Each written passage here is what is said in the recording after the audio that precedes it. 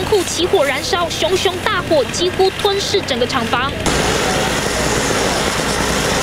十九辆消防车、五十四名警消兵分多路布置水线，从仓库四周灭火。现场不时传出阵阵爆裂声，听到那个玻璃的爆破声，然后一从窗户一看，就从后面的那个火势就很旺了，所以我们马上打电话。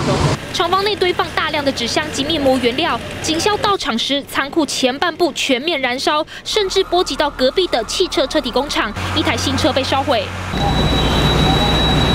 面膜工厂负责人听到消息，急忙赶来，看到自己的心血付之一炬，急得都快哭出来。刚有冇做？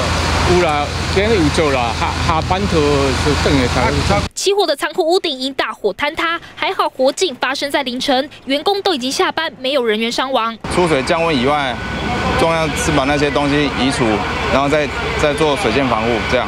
二十七号凌晨两点多，台中大理这家两百平的面膜工厂仓库不明原因起火燃烧，警消历经两个多小时才将火势扑灭。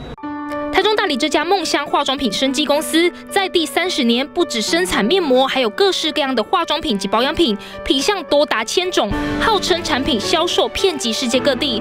工厂夜半传出大火，不仅财损难以估计，也吓坏附近民众。记者王一超、龚玉德，台中报道。